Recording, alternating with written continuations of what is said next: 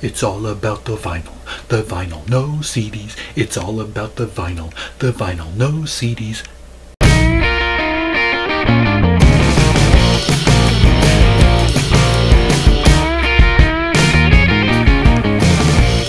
Greetings, one and all, and welcome back to Tom's Hit Parade. It is time to just let loose, have a little fun, and that means it is time for my February playlist video. This is the one where I just talk about the music that I've listened to just for fun over the past month. I am really loving these uh, low prep videos, the few to no notes videos, the ones where I can just talk freeform, have some fun, not have to concentrate. Uh, Backtracks is the one exception. That's the info intensive one where I follow a script very closely, but otherwise, it's especially in the last few weeks, uh, I've come to realize how much fun I have with these off the cuff kind of videos. So you might be seeing more of that than of the scripted or semi scripted content in my channel. Possibly, who knows? But then that's the beauty of YouTube. I don't know what this channel is going to be two months from now. So, and kind of along that same line of thinking, uh, I'm not sure what the playlist video is going to be from one month to the next. For instance, uh, last month it was pretty much all CDs that I talked about. Actually, it was all CDs because that was what I listened to uh, during the month. And this month it is actually all about the vinyl. Yes, I uh, I gave the vinyl some love this month, and part of it was uh, I kind of engineered it that way because I realized toward the beginning of this month that the end of this month, February 28th, will have been the six month anniversary of the closure of Skips Records and CD World. Yes, if you can believe it, I have been without Skips for six months. Uh, part of me is I can't believe it's been that long, but part of me can't believe it's hasn't been longer. So uh, I think I phrased that right. But anyway, uh, yeah, it's been six months since I've been without Skips, and uh, well, with me being me, uh, a lot of the vinyl records that I bought during Skips going out of business sale, I hadn't yet listened to. I know, chastise me if you will. That's, but it's kind of like you know, that's me. I, I buy stuff, and sometimes I just take forever to get around to listening to it. I've, it's been hard for me to get into the habit of at night as I'm winding down for bed, putting on a record. I don't know why I don't do that more. It's just it, it's incredibly relaxing a lot of the time. So, but yeah, this this month I have kind of gotten myself uh, worked myself into uh, doing that more and more often. So, uh, but anyway, yes, I have ten record albums. I believe it's ten that I will be talking about today that I've listened to and uh, for the most part really enjoyed. Uh, this first one actually though I didn't buy it skips. I actually bought it uh, quite a bit earlier than that. So. Yes, this one has been sitting on my shelf for I think a year or more, and I just hadn't gotten around to listening to it until last week. Uh, it is uh, Detour, the country covers album by Cyndi Lauper. Uh, yes, uh, I got this at the FYE store up in Salem, Oregon, uh, which uh, is one of the largest. It, it's the largest FYE in the state of Oregon. It might be the largest in the country. I'm not sure about that. But yeah, they were having a buy two get one free sale on most of their vinyl LPs, so this was part of that sale. So, and yeah, and I've really been enjoying this album. Uh, it's got, uh, as I said, it's her country covers album.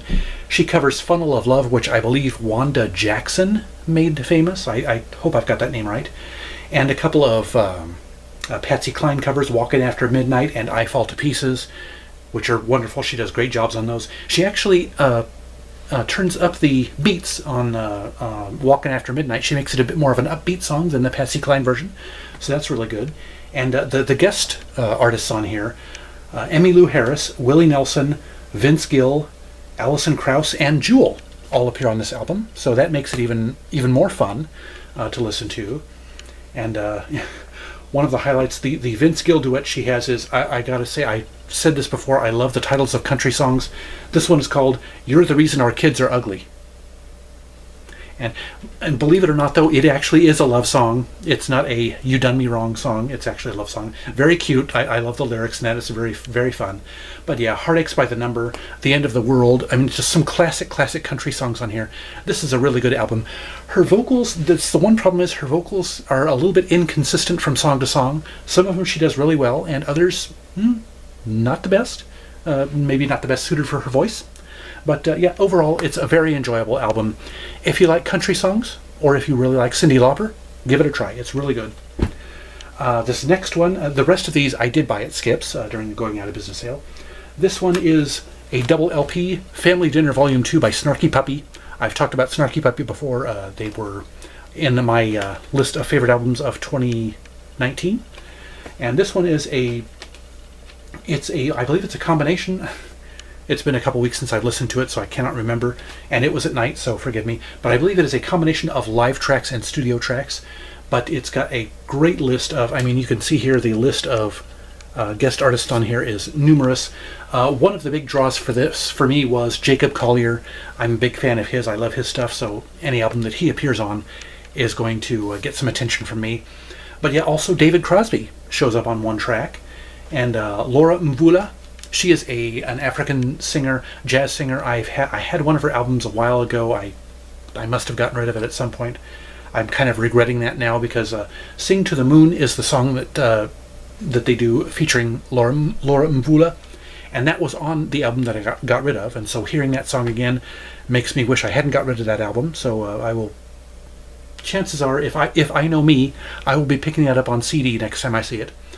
But uh, yeah, this has a combination of uh, smooth jazz type of numbers, uh, some more upbeat stuff. It's got some African rhythms on it, just a whole, a wide, wide variety of stuff. It's got some Latin stuff on here. So this is just great stuff. If you like stuff that's out of the ordinary, uh, most of the stuff, if I recall, is vocals. Uh, Snarky Puppy is known for their instrumental stuff, but this and this does have some instrumentals on it. But it's a very a mixture of vocal and instrumental and a mixture of uh, wide different varieties of, of music. So I would highly recommend checking this out. Uh, and also, this actually came with a DVD, which I haven't played yet. But uh, yeah, I mean, it's just yeah, I got this when Skip's going out of business sale was at 50%, 60%, something like that. So I got this for a steal for having two two LPs and a DVD in it. So, and it was well well worth it. It's it's some, that is some great music for listening to at night and relaxing. And uh, this next one is probably my favorite of the bunch. I, I, picked it up totally on impulse. I had never heard of this guy before, but I'm so glad that the impulse struck. It is Trapper Schoepp, and this is his album Rangers and Valentines. It is great indie rock stuff. It's just it's, it's fantastic. I, I, don't know what I can say about it. It's kind of like um, it's just got that classic indie rock singer-songwriter kind of sound I don't know how to express it better than that. Uh, I, I, highly recommend checking this out on, on streaming. I'm sure Spotify has it. And I am definitely going to be uh, looking for some uh, more of his albums because this was just a great, great first impression. He left a great impression on me. I cannot remember anything that really made any of the songs stand out, but uh, trust me, it's very much worth listening. Great, great album of uh, indie rock stuff, singer songwriter type of stuff going from the favorite of the bunch to probably the least favorite, and it pains me to say that because I love this guy's acting. I've uh, it's uh, Dennis Quaid and the Sharks. Uh, Out of the Box is the name of the album. This is actually the debut album by Dennis Quaid and his band. But yeah, it just seemed, and again, as I said, it pains me to say this because I love Dennis Quaid as an actor. Some of his uh, movies, particularly that lean towards sci-fi, are some of my favorites. But yeah, this just seemed very formulaic stuff here. The lyrics were, you know, just not the best lyrics. The arrangements were kind of, you know, there were no surprises in it, and uh, it was competent but not really ear grabbing, and that's, you know, so yeah. In total fairness, you might find this a lot more appealing than I did. Who knows? Uh, maybe I'm just hard to please in that respect, but uh, and maybe I was expecting a lot because it was Dennis Quaid. But yeah, unfortunately, sad to say, I was left rather cold by this. Sorry, Dennis. Anyway, back to the uh, better albums in the bunch. Uh, you've probably heard of these guys, The Temptations. Uh, yeah, this is one uh, their latest album, All the Time, and this is just a great album. These guys are in top form. I, am sure it's not all or the original members of The Temptations. I'm sure that they've there's been some turnover over the years, but this is a great album. It has uh, a lot of covers on it. It has a cover of "Stay with Me" by Sam Smith, a cover of "Thinking Out Loud" by Ed Sheeran um, uh, John Mayer, Still Feel Like Your Man, as well as uh, When I Was Your Man by Bruno Mars. I mean, this has a bunch of covers on it and some great. Uh, I don't know if there are any original. Yeah, there are some original stuff on here because uh, some songs written by Otis Williams. So yeah, this is a great, great mixture of classic, uh, old school R&B with some, you know, new takes on recent uh, pop songs and, and rock songs. So I highly recommend this album all the time by The Temptations. Fantastic stuff here. And then onto another double LP that I found at Skips. Uh, Van Morrison, Reworking the Catalog. It's a duets album that he put out. Sorry about the light. I keep hitting the uh, reflection of the light on there. But yeah, George Benson, Natalie Cole, Gregory Porter, Steve Winwood, Michael Bublé, Mark Knopfler, the list goes on. I mean, just an all-star duets album here. And I'm actually not familiar with very many of the songs in their original forms, so uh, so I don't have any basis for comparison regarding these arrangements to the originals, but it's a very entertaining album. I really, really enjoyed it. Uh, of course, you know how much of a fan I am of Michael Bublé and uh, George Benson. Joss Stone is on here also. Uh, so yeah, just a, a fantastic album. Uh, I, I, would recommend uh, yet another one. I would recommend. This is this bunch of albums is pretty pretty solid here. I have to say. So I, I made some good purchases without you know never having heard the albums before buying them. So uh, yeah, a lot of these were, well, a lot of them were kind of impulse buys, I guess I'd I guess you'd say, because you know, hey, Skips wasn't going to be around for much longer. So plus the deals. I mean, hey, but yeah, very very good album by uh, Van Morrison, a duets album, reworking the catalog. Check it out. And then we have a couple of what I think were my first LP purchases from Skips Going Out of Business sale, and uh, this was when the sale was 30 or 35%, and uh, he still had these, which was kind of surprising. It is a pair of Paul McCartney albums, uh, yeah, Pipes of Peace and Tug of War. Both very, very fun. I had never actually listened to these two albums in their in their original formats all the way through. I was familiar with the singles, obviously, but uh, yeah, lots of fun. These two albums are just excellent, fantastic. Very proud to add these to my collection, and at the prices I got them at, you cannot complain. I mean, honestly, uh, "Take It Away" is uh, one of my favorite songs of Paul McCartney's at all, and it's one of the singles off this album, Tug of War. And of course, Ebony and Ivory, a very, very cheesy song now, but uh, it's it's a sentimental favorite. Uh, my sister sang it. Uh, I have a memory of my sister singing it at, I think it was some kind of a church function. It, it took place at the church anyway. And I don't know if it was a talent show or whatever, but uh, that's how I came to really love the song was that she sang it. I think it was a duet with a friend there at this church function of some sort. So that's become a lifetime sentimental, favorite of mine, and that is one of the songs on Tug of War. And Pipes of Peace, of course, has uh, Say Say Say with uh, Michael Jackson. And uh, Michael Jackson makes a couple of appearances on this album, actually, uh, Pipes of Peace. And yeah, just a, a, great album. Ringo Starr is, of course, on here. Stanley Clarke is uh, one of the uh, other guest artists on here. So yeah, an excellent pair of Paul McCartney albums. Uh, they were both produced by George Martin, so that uh, kind of go, stands to reason that they have a little bit of that Beatles sound to them. So, but yeah, great pair of albums here. Very happy to have uh, started my Paul McCartney vinyl collection at Skips Records and CD World. And then finishing off the stack of albums here, I have a pair of female artists, female jazz artists for you. Uh, the first one I have mentioned a few times on my channel, I believe. Uh, her name is Nellie McKay, and this is her most recent album, I think, Sister Orchid. And uh, she actually did an in-store at Skips uh, during the uh, release, promo release junket for this album. Uh, unfortunately, I did not go to that in-store. I was not the Nellie McKay fan back then that I am now, so I really regret that I missed that. And But this is, anyway, this is an album of covers of American Songbook standards, Rodgers and Hart, Hoagy Carmichael, Johnny Mercer, that kind of stuff. Uh, very, very good album. Excellent album. And uh, her voice is, I've mentioned this before, her voice is a little bit idiosyncratic. Uh, I mean, she's an excellent vocalist. It's just, it's hard to describe what her voice does. It's slightly off key, and the delivery that she does is a little bit odd. It's probably not the best delivery for these types of songs, but I still think this is a good album. It's probably just because I'm used to Nellie McKay's voice in the grand scheme of things, probably not the best interpretations of these kinds of songs, but hey, I like Nellie McKay, and I think this is a pretty darn good album. So there you have it. Take with that what you will. Uh, yeah, but yeah, don't be afraid to check this out if you like the uh, uh, American Songbook standards, especially um, slightly interesting interpretations of those kinds of songs. Check it out. And finally, on today's playlist, we have an artist that I know I've mentioned before. I have got three of her CDs. This is the first album of hers that I picked up on vinyl. It is Lizz Wright and her album Grace. This is, I believe, her fifth album. I've got her first, second, and third albums, so I don't have the one before this. But yeah, this, as I said, is the first one I've heard that I have on vinyl, and it's just it's it's in keeping with her previous albums that I've got.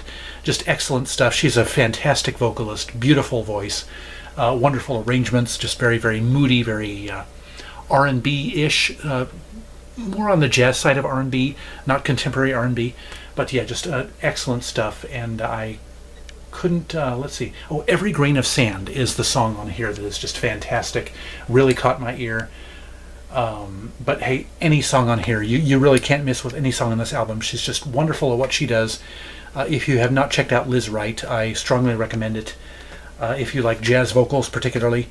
But yeah, and I am probably going to seek out her her fourth album uh, in her discography. So yeah, I gotta say I did some I did pretty well uh, buying stuff from Skip's going out of business sale. It was uh, wonderful. I'm, I'm still so sorry to see Skip uh, gone, uh, Skip's store, that is, gone. Skip is alive and well, don't worry, and enjoying his retirement. Oh, and I forgot to tell you, um, since I filmed my last Skip video, I actually got another piece of memorabilia from his store. This was actually courtesy of my brother. My brother, uh, sometimes I would just want to slap him across the head, but other times uh, he just does amazing things that just surprise the hell out of you. And this is what he did for my birthday back in November. I come home from work and I find in the living room this big thing, big boxy thing with a sheet wrapped over it and a bow around it.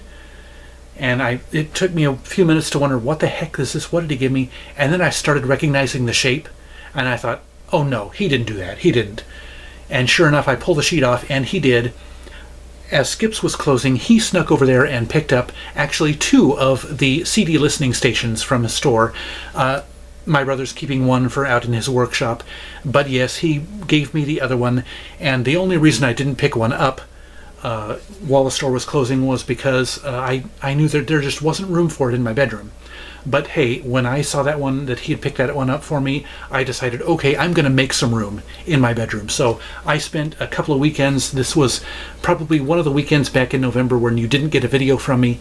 Uh, I was spending time rearranging my room, a good portion of my room, trying to find a place to put this thing. And yes, I, as you can see, I finally found a place to put it. And yes, the the listening stations. It wasn't just the cabinet; it came with the CD changers, which which are still in working order. Mine is in perfect working order, and of course the headphones that came with them too. So uh, I have not put CDs in them. Uh, I usually listen to CDs on my uh, five disc CD changer, which I, which I have right here next to me. So, uh, but anyway, it is just a fantastic, amazing uh, one more piece of memorabilia from Skips Records and CD World that will live on forever in my little bedroom here. Uh, so yeah, along with the uh, floor mat that I got from the store and a couple of uh, CD racks, uh, uh, CD cases that I got, I'm just so thrilled and blessed beyond measure. I think for being able to, as I said, bring home some little memories, a few more memories and a few more pieces of skips to treasure for as long as I live, hopefully. So anyway, yes, enough with my rambling. And enough with my remembrances of skips. You're probably tired of hearing them uh, by now. But anyway, that's it for this video. I hope you enjoyed it. Uh, suggestions, questions, constructive criticisms, lay them on me in the comment section below. Also, scroll down to the description for the link to my Twitter feed and links to my favorite fellow YouTubers who are all worth checking out. And don't forget to subscribe to my channel and browse my past videos, and be sure to ring that notifications bell so you'll be the first to know each time I drop a new video. Otherwise, thank you so much for watching. I'll see you next time, and remember, life's too short to be a music snob.